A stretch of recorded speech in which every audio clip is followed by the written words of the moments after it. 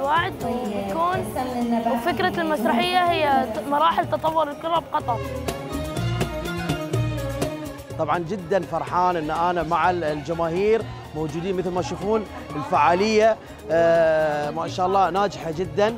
طبعا أشكر جميع المراكز التابعة للمؤسسة القطرية للعمل الاجتماعي على مساهمتهم ودعمهم لهالفعالية. ونتمنى إن شاء الله إن الجمهور يحضر عندنا ويستمتع بالأجواء اللي موجودة في كتاره مع المؤسسة القطرية للعمل الاجتماعي. كل عام